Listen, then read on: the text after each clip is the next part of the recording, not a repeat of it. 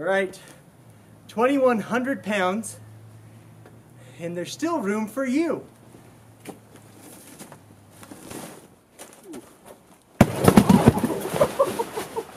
Hi, it's Derek with Haven Tents. We're here today doing a stress test of the Haven Safari. The last time we loaded up one of our backpacking hammocks, it held about a thousand pounds. The Haven Safari is more rugged and tough. Let's see what it can do. Hey, I'm Tim. Uh, I've worked uh, with Haven for a little while now. You, if you've messaged in, you've probably heard from me. Okay, so we've got uh, tree straps connected to the tree up there. Um, and it runs all the way down through the tractor. We even have it connected to the front of the car for the counterweight just to make sure it all goes well. So we'll see what happens. Reset, we're gonna have to unload it and then raise it a little. This is just the tent and the air mattress. There's no magic tricks here, no strings. This is literally just our design. You'll see no matter how much weight we put in this, it'll be flat the entire time. 1,000 pounds. And are we still airborne? Nah, it slipped. Okay, reset. It keeps sliding. Another, this is a thousand pounds, and now we're airborne at least. I say let's go find two big trees to do this on, but we're in Utah, trees aren't that big.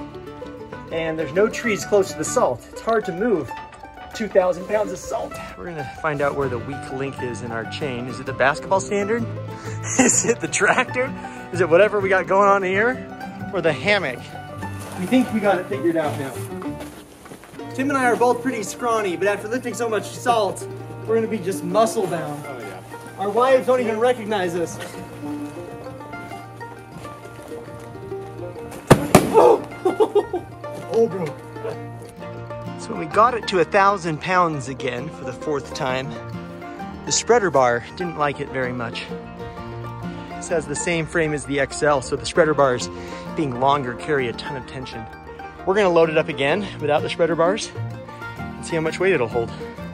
Well, we got Haven Safari up to a thousand pounds a few times.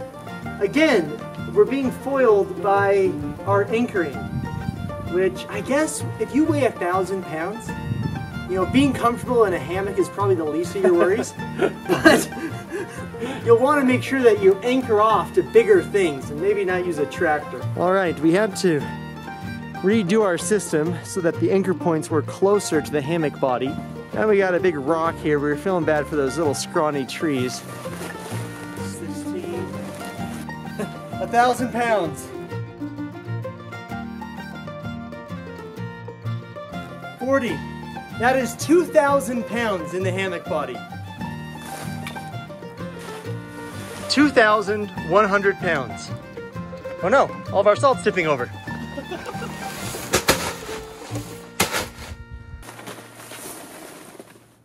all right, 2,100 pounds.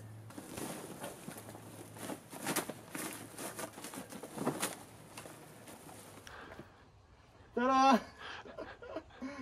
Holy cow. 2,260 pounds. Ooh.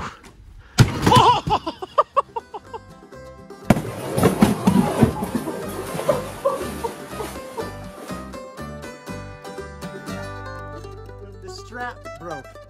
The hammock is just fine. That was crazy. I had it double strapped. So this strap broke right here. It broke first. Before Haven Safari, our steel carabiner is what broke. That is insane. Holy cow, that is so cool. Well, actually, it was probably the strap that started to break, and then as it was dropping, it was starting to uh, catch, right? And so it was more and more strain on the carabiner until eventually that's what broke. That's pretty cool. That's pretty cool. All right.